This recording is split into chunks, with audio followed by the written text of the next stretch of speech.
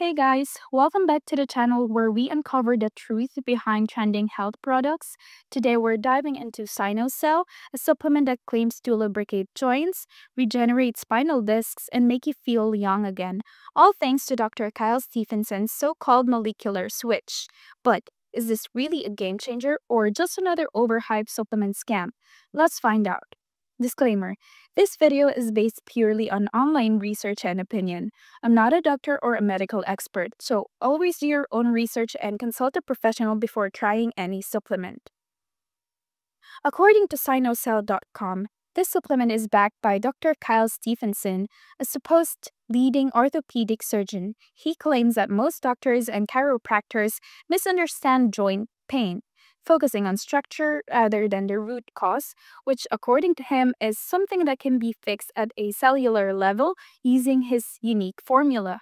His pitch, Sinocell can relieve joint stiffness, nerve pain, and backaches, regenerate spinal discs, and joint cushions, help you move like a teenager again without surgery or drugs. Sounds impressive, right? But when we look deeper, things don't add up.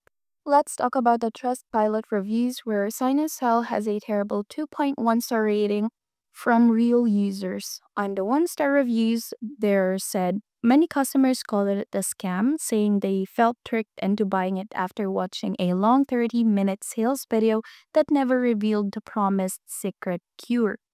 Some ordered multiple bottles, saw no results, and were denied refunds even for unopened bottles.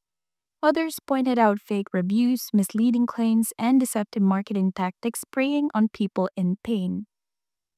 If we take a look on the two-star review, one user said Sinocell is better than nothing, but only worked because they also made major lifestyle changes like dieting, exercising, and drinking more water.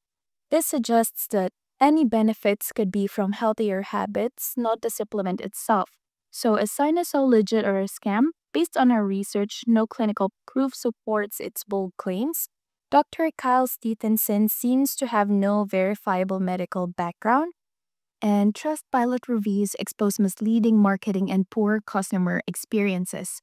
While some might see minor benefits, it's unlikely to be a miracle cure they promise.